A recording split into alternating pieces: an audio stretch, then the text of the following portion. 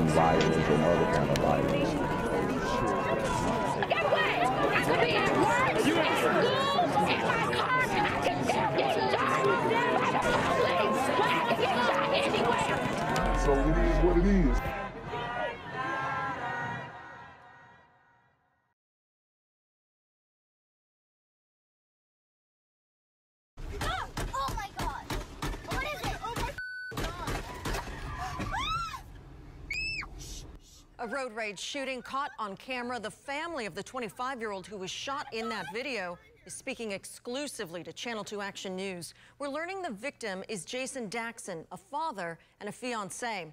It happened in Acworth at the intersection of Highway 92 and Woodstock Road. Channel 2's Ashli Lincoln tells us the family thinks there's more than just road rage behind that shooting. The victim's family tells us that they don't feel that it's just road rage, but also that the shooting was racially motivated. His fiance telling us this evening that she just doesn't understand how someone can get so angry that they will fire their weapon through their own driver's side window. The first thing I can think of is just a senseless, racist act of violence.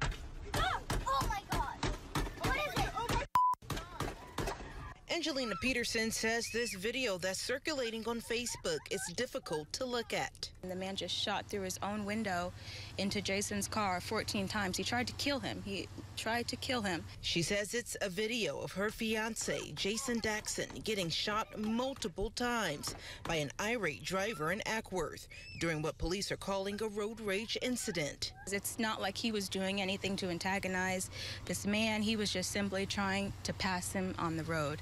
Um, and the man would not let him. But Peterson feels the shooting was racially motivated. I truly do believe that it is a racism act of violence. I'm here on the corner of MLK and Frederick Douglass, where a shooting just took place. And as you can see, it's a pretty rough area. So I'm basically risking my life reporting on this madness. So make sure you do me a favor and hit the subscribe button. Like the video, hell, share the video. And make sure you go ahead and leave a comment down in the comments section to continue the discussion on how we can find solutions to all this sun violence in the streets. I'm Quavius Jackson here live reporting from Atlanta, Georgia, BGZM News 17. Peterson says her fiance and father to their 11 month old was nearly home from the gym. Three minutes.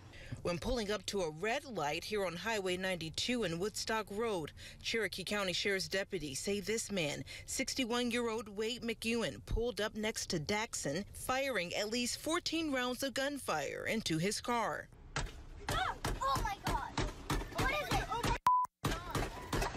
Witnesses capturing McEwen's actions on cell phone video, showing Daxon driving quickly away. It's just hard to see my loved one and know that my child's father, he has no idea what's going on. Peterson says this incident has caused their life to come to a complete standstill. Since the shooting, her husband has undergone several surgeries. Our whole world is turned upside down. She says this week, Daxon, who's a Grammy nominated songwriter, was planning to start the next step in his career after getting signed to a major record label here in Atlanta. He was supposed to have his photo shoots, his um, interviews, his everything you could think of, and it just stopped instantly.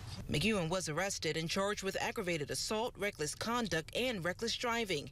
Peterson says they've created a GoFundMe page to help with medical expenses and child care needs, as doctors say it'll take months before Daxon is fully recovered. I don't even know what to say about the road rage. It's just, it's absolutely unacceptable. It's ridiculous. Um, Jason did do nothing wrong. And we did find out from investigators that Daxon was able to drive a safe distance away. His fiance telling us he was shot in the back and the arm. Again, a long road ahead of him when it comes to his recovery process. In Acworth, Ashli Lincoln, WSB Tonight. Gang violence and other kind of violence.